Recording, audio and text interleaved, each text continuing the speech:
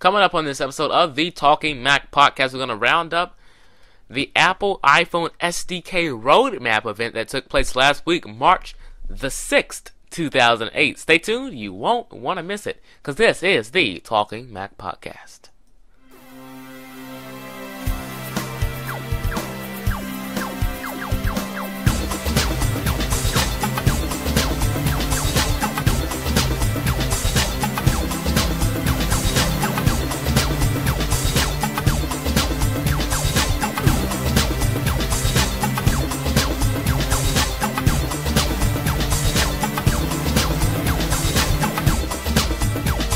Hello, welcome to this episode of the Talking Mac podcast. Remember, visit our website, talkingmac.tk, so you can download this week's free Mac download of the week, see our show notes, and subscribe in every sort of way, and hear the extended episode of this podcast.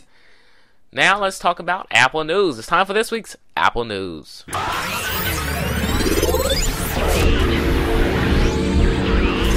Apple News for this week consists of releasing Time Mach- Time Capsule. Time Capsule was released, and the iPhone Roadmap Event SDK event took place this week, March the 6th, with a lot of cool updates, and we'll tell you all about that later on in this episode of the Talking Mac podcast. This has been this week's Apple News.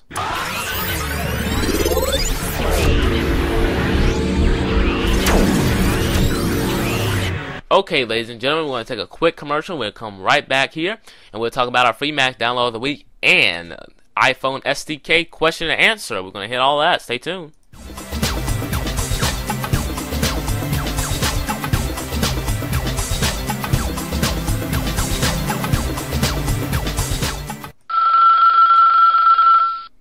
Hello, this is the Talking Mac helpline. How may I help you? Hi, yes. I was just wondering if I could download your podcast in MP3 format so I can place it on my iPod or any other MP3 player.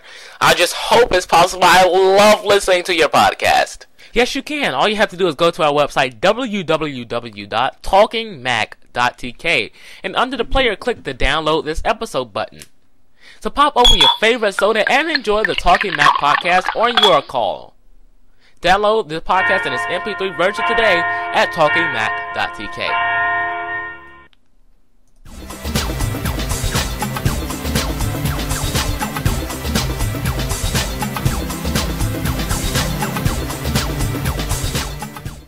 Hello, welcome back to this edition of the Talking Mac podcast. TalkingMac.tk is we can download this episode, download a free Mac download of the week, and much, much, much, much more. Alright, so let's talk about iPhone SDK. Uh, Steve and uh, Phil and uh, some other folks did some uh, question and answering and stuff like that. But let's first talk about what was announced at the event, the special event at the town hall at four, Infinite Infinite Loop, Cupertino, California. Uh, Steve Jobs headed the event with Phil Schiller and Scott Forstall, VP of iPhone Software and VP, VP of Worldwide Product Marketing. So first up, they announced a lot of enterprise features such as push contacts, global address, uh, push calendar, push contacts, push email, uh, Cisco uh, IPsec VPN, uh, Microsoft Exchange support, which is a very, very, very big one. Uh, WPA2 encoding, enforce security policies, device configuration, remote wipe, and certificates and identities, and all that cool stuff like that.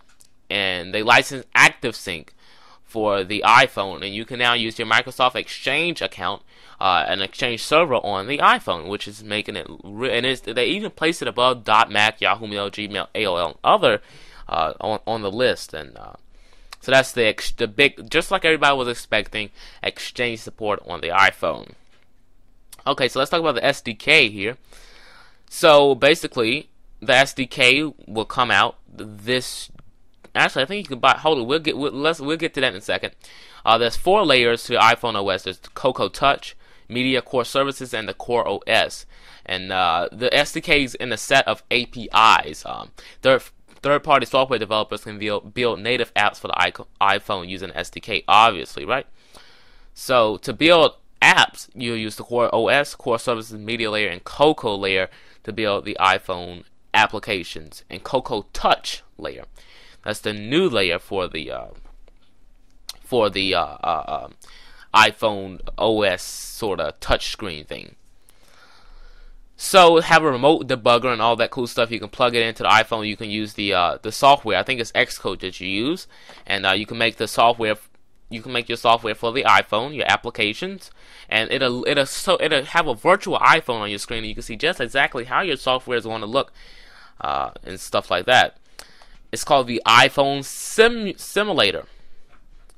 So you know you can build applications and see them on the iPhone in real time. Now they built an application in two days, and they built an application called Touch Effects, uh, and uh, using OpenGL and stuff like that. Built it in two days. It's a great looking application. And they decided what what can they do in two weeks? So they built Touch Fighter, and it's a it's 3D OpenGL and tap anywhere to fire. Steer with the acceler- accelerometer. It looks like a very very fun game to play. And uh, EA Electronic Arts came up and dis- demoed the Spore game for it. Um, Salesforce um, introduced an app as well for their device. So yeah, they demoed their application with monthly sales stats and cool things like that. Then AOL came up to the plate and uh, they demoed AIM, AIM for the iPhone. Uh, they built it in five days, and it's very incredible what what they can do. And that's if they don't, you know what I'm saying. And uh, next was Scott from Sega. Uh, Sega, you know, has been a household gaming name for more than 25 years, and they built Super Monkey Ball for the iPhone. Now, here's how you're gonna get the apps. Apple developed something called the App Store, which will run off the iPhone, and you can buy apps, some of them free. You can wirelessly download it over the air via your cellular network or Wi-Fi uh, all the apps. It's just like the iTunes Store, the App Store on the iPhone. Some of them are free. Uh, here's if you want to build your app. Here's what is you know, the dev the developers get a 70% of the revenue right off the top. Apple keeps 30% to pay for running the App Store, and there's no credit card fees, no hosting fees, no marketing fees for the hosting the application, and developers get 70% monthly. So if you want to develop an application for the iPhone, 70% monthly. And uh, if you choose to make a free app to put on there, the hosting's free. They don't charge you anything. Uh, so they won't distribute malicious apps and other things like that. So after this week's free Mac download of the week, we'll, take, we'll go through some of the uh, some of the cool uh, question and answers sessions that they had. So this is the free Mac download of the week. Hello and welcome to the Talking Mac podcast segment, free Mac download of the week. This time, I eat brains. Ugh. Correct missing information in your iTunes library. I Eat Brains 1.0.8 is an excellent free application for OS X that takes songs in your iTunes library that has incorrect or missing information for title, artist, or album, and then matches it with the correct information maintained in its MusicBrainz database. It allows you to verify all of the information it retrieves before updating your iTunes library with incorrect or missing information. This is a universal build and it supports Tiger and Leopard. You can download I Eat Brains in the show notes area of this podcast at talkingmac.tk. This has been the free Mac download of the week for I Eat Brains. Yep, you can go to our website talkingmac.tk. Under the under the player, you'll see free Mac download of the week, or download of the week, or Mac download of the week.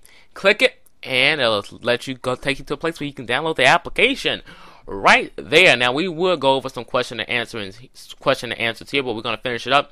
Go to talkingmac.tk where you get the full episode, hear the question and answer, and all that great stuff. Talkingmac.tk. Let's finalize this baby up here.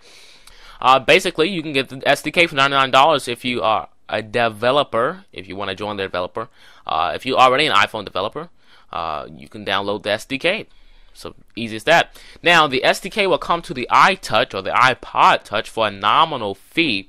Uh, basically, in June, the iPhone and iPod Touch will get an update, but you have to pay for the iPhone update and not for the iPod Touch up. I'm sorry, you pay you have to pay for the iPod Touch update, not for the iPhone update. So uh, that'll bring that to the party. Thanks for listening to this episode of Talking Mac Podcast. Visit our website talkingmac.tk if you have questions. Send them our way, Talking Mac. I'm sorry, questions at talkingmac.tk. Remember, your mind's like a parachute. It will not work unless it's open to think outside the box. Think different. The video of the week coming up on Wednesday is Spotlight Preferences, which you how to how to customize Spotlight to your very whim and wish. See you next time, right here on the Mac Podcast. Bye, everybody.